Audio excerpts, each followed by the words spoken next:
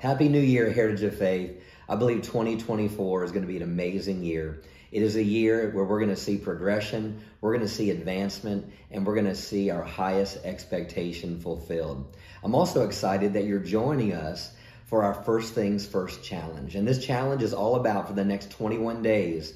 We're going to take time to seek the Lord every day, and we're going to pray, and we're going to get into the Word every day. And it's an awesome opportunity for us to just set the course for this next year. This is all based on Matthew 6:33 that tells us seek first the kingdom of God and his righteousness and all these things will be added unto us. I believe God wants to add some amazing things into our lives. He wants to bring great increase into our lives in 2024. But I believe we need to put first things first, and that's him.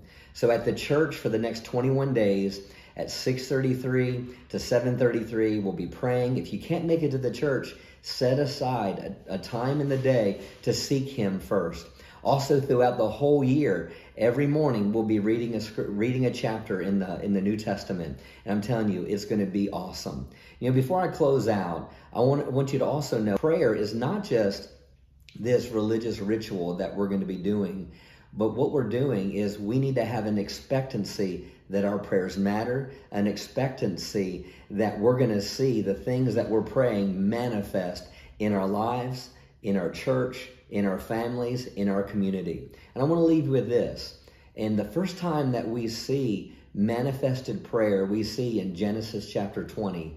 And it said that Abraham prayed. It said, when Abraham prayed unto the Lord, Abimelech was healed.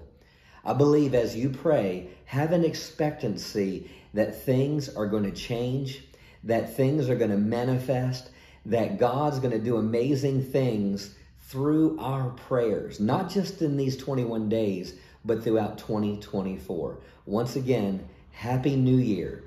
And keep the fire burning for these next 21 days. And at the end of these 21 days, we're going to have a conference with myself and with Dr. Savelle. And I'm telling you, it's going to set something off on the inside of Heritage of Faith. And I'm excited about what God is going to do in 2024.